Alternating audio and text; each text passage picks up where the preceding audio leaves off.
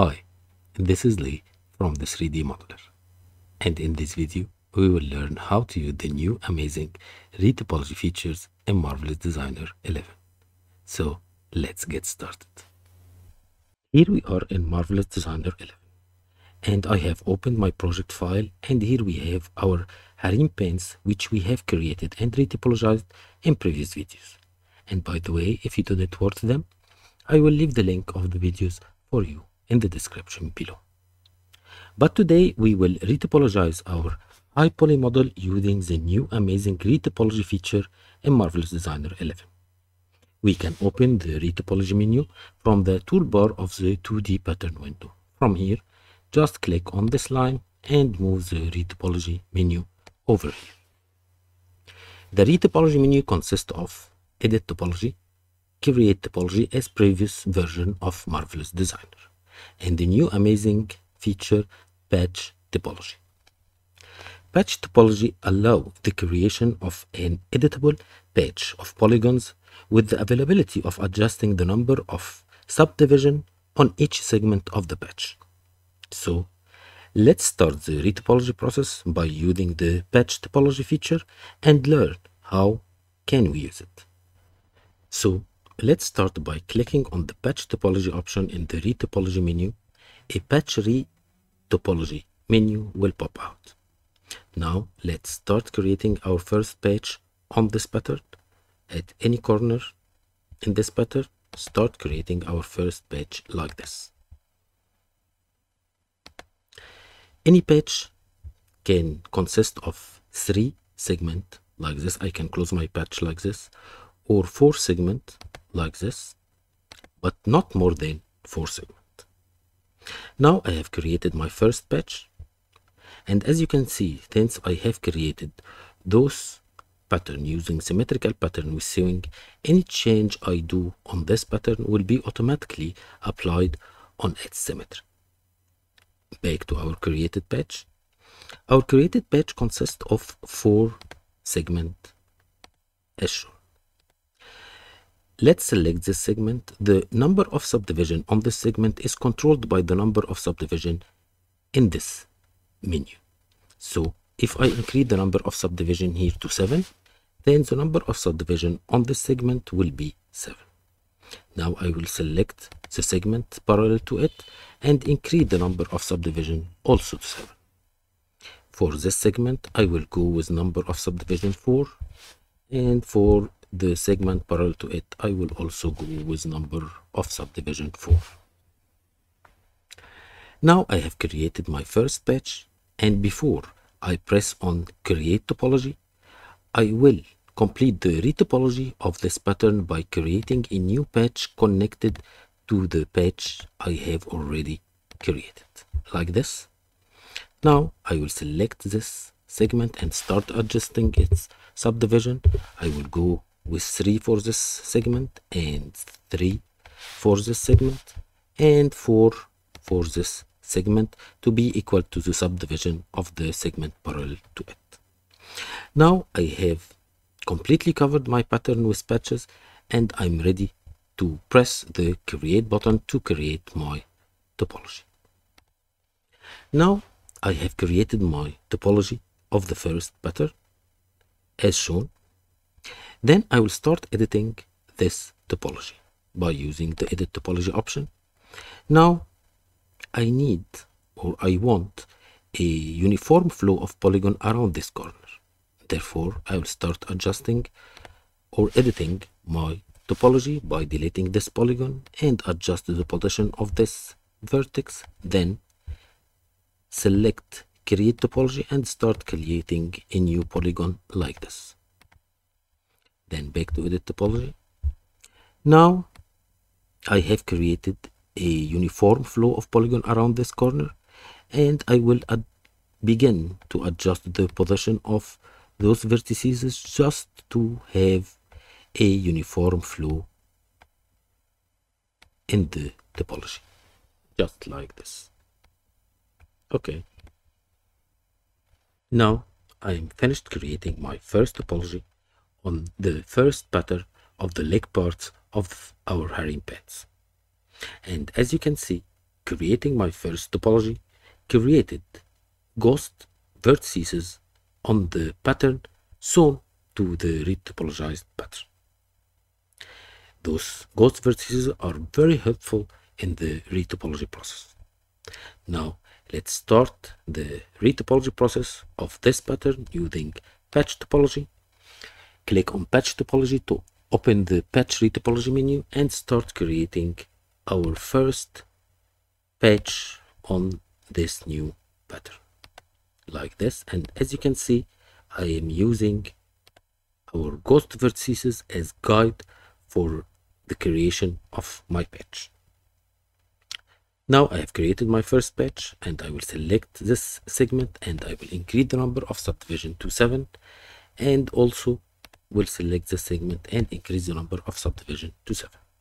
I will go with number of subdivision 4 for this vertex for this segment and for subdivision also for this segment and before creating my my topology let's complete the retopology process by creating a new patch connected to the patch I already created and start adjusting the number of subdivision for each segment.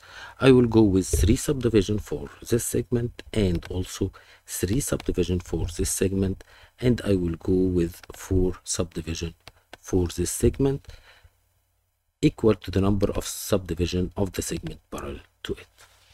Now I have completely covered my pattern with patch and I'm ready to create my topology. Now I have created my topology and I will start editing the created topology. First of all, I need to make sure that my topology is covering the whole the whole pattern to the edges of the pattern.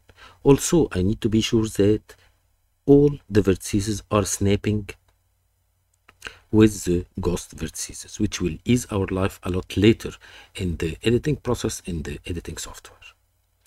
I also need to have a uniform flow of polygons around this corner. Therefore, I will start editing by deleting this polygon and adjust the position of this vertices and then create a polygon here like this then a polygon here like this now back to edit topology now I have a uniform flow of polygon around this corner and I will start adjusting the position of those vertices so to have a uniform flow in our topology. Now I have finished the retopology process of the all leg part of the harem pants.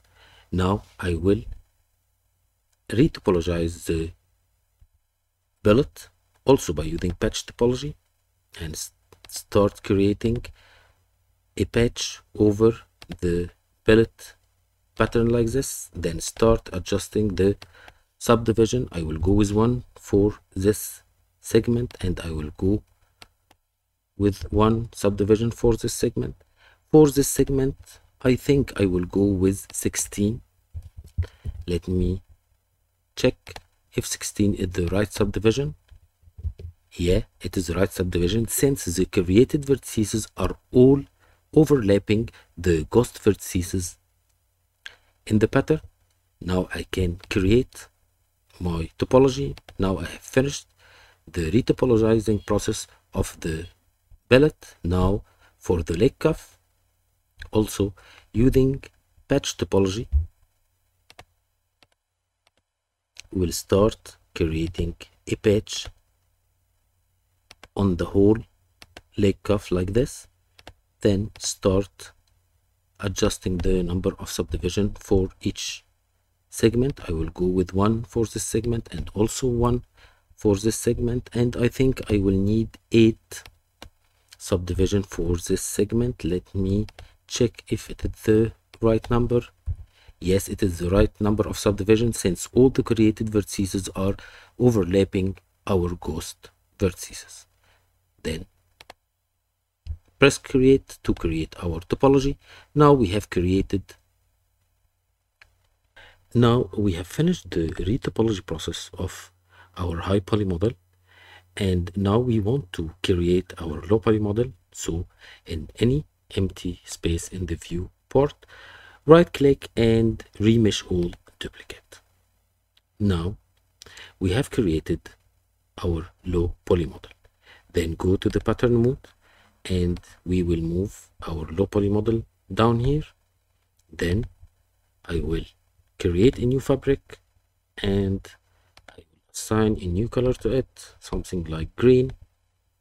Then I will select all the high poly model and will assign the new fabric to it now in the 3d view we can see both the high poly model over the low poly model and if we go to the wireframe we can see that the high poly model is consist of a large number of triangular polygons while the low poly model consists of a few amount of quads. This type of uh, low poly model is uh, very suitable as game assets. And now in the next step, we will export our low poly model to our editing software. For me, I use 3ds Max for editing our low poly model and making unwrapping UV. But before we make our export, we need to go to the UV editor and start cleaning our UVs. In any empty space in the UV editor, just reset UV to 2D arrangement, then right click again and fit all UV to 01 and press OK. Now just cleaning our UVs before exporting our model as OBJ to our editing software. Now I will export my low and high poly model to my editing software which is 3ds Max like uh, in OBJ format and I will see you there. Now we are in 3ds Max and I have imported my low and high poly model as OBJ in our software. Now let's start editing our low poly model. We will select our low poly model, Alt Q to isolate our model. Now our model is imported as editable mesh. We need to convert it to editable poly. So right click, convert to editable poly. Now I will select by element. As you can see, our model consists of number of separated elements, which each element represent a pattern which we have created in Marvelous Designer. Now we need to connect all those elements together by wielding the vertices between them. So we will select by vertex and we will select all vertex, right click and we will choose weld.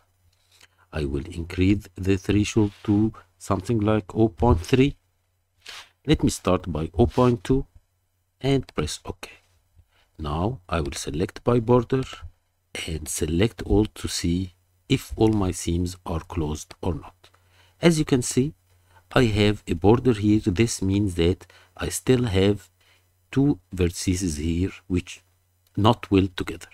Therefore we need to weld those two vertices together to close this seam. So I will select by vertex again select all right click and choose weld. And this time I will increase the threshold to 0.3 then press OK now if we select by border again select all. Now all our seams are closed and borders are located in places where they should be. Now I have finished editing my low poly model and now I will start checking my model UVs. So let's let's create a new V-Ray material and I will assign a checker map to the diffusion slot of the material. And I will go with 25 by 25 tiling and I will assign the new material to our model. As you can see, there is a lot of stretching in the squares of our checker map. This means that we need to make a new proper unwrapping for the UVs here in 3ds Max. So let me start by adding unwrap UV modifier to our model and let's open the UV editor.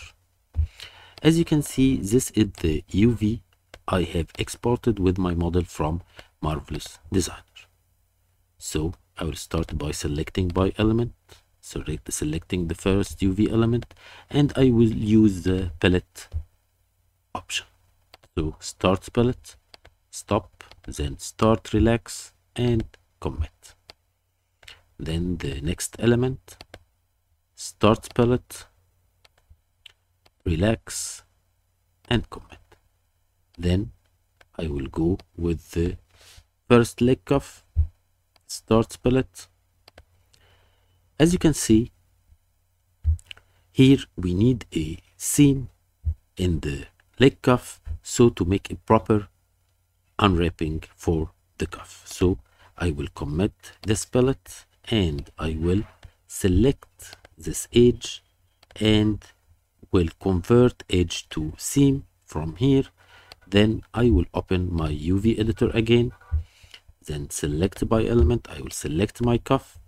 Then I will use the pelt option again. Start pelt stop. Then relax and commit and here we have properly unwrapped our leg cuff. I will complete the unwrapping for the rest of our model and I will be back soon. Now I have finished the unwrapping UVs for our low poly model and as you can see we no longer have those stretches in the squares of our checker map. This means that we have done a proper unwrap UVing for our low poly model here in 3ds Max. Now our low poly model is ready to be export to the next modeling level. The next modeling level should be ZBrush to add fine details to our high poly model and project those details back to our low poly model and create displacement map and normal map to our low poly model. But our work is done here in 3ds Max. Hope you have enjoyed our video and please if you like our videos like and subscribe to our channel and thank you for watching.